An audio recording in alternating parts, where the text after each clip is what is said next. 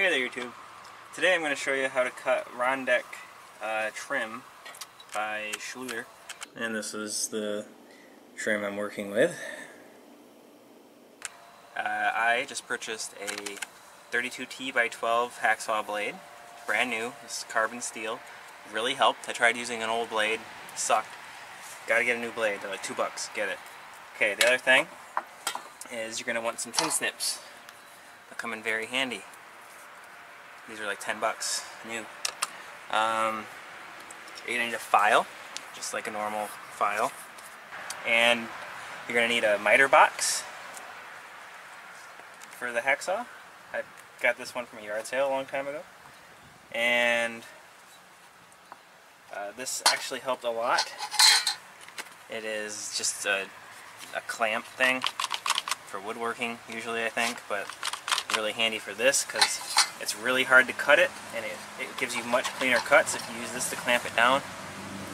Uh, I tried doing it without this and just holding it with my hand while I cut, and uh, it scratched the crap out of it, and it was just not a good time.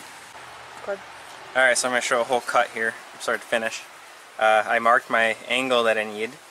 I'm not using the stupid end pieces because they're like 10 bucks a piece and that'd be $80 in end pieces or not end pieces, but called corner pieces. Um, so I'm just going to do the mitered edge here. And you just put it in your thing, put it in your miter box.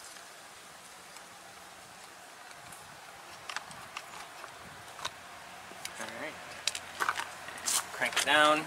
Uh, be careful, make sure that this clamp is clean because this actually does scratch pretty easily. I was a little disappointed in how easily this scratches metal to metal, but it is just aluminum, so.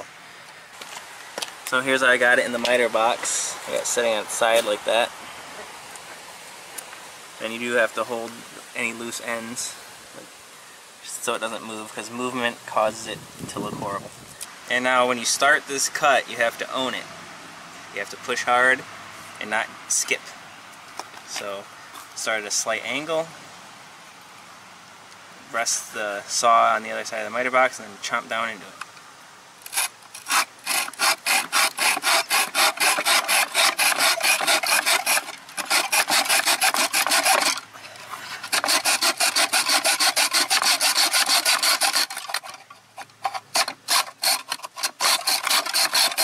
Still not super easy to do, but once you get through the body of it,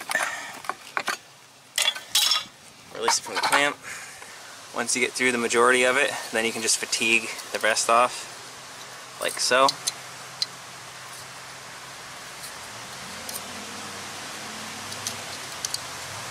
Then you want to take your snips and trim anything where it's going to hit. Theoretically, none of this would hit, but there's always like gunk in the corner, so I just take it and cut it down like that. Then I just put it here. Just put it against here and file it.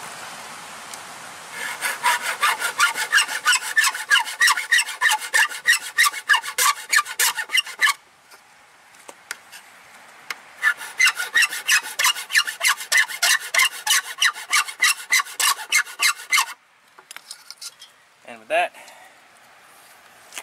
you have a nice, beautiful edge there.